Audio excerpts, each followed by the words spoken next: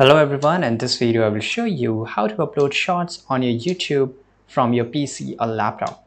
Right, so it's really easy. On the top right side corner, you can see your profile icon. Go and tap there, open your YouTube Studio.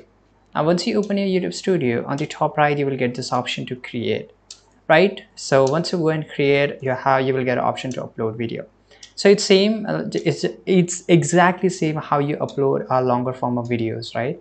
But the main thing is that make sure that your short video is under 60 seconds.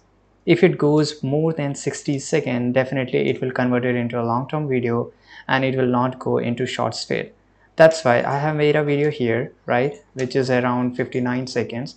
Let me show you. So if i just play this video as you can see here that is 59 seconds. I will just select here and i will just open it up right? And automatically as you can see here that my I can just upload this video right? So it will just take a very few seconds. So I will just write here test right? And in the video elements you can see I don't have to I don't get an option to add my end screen because this is a short video right?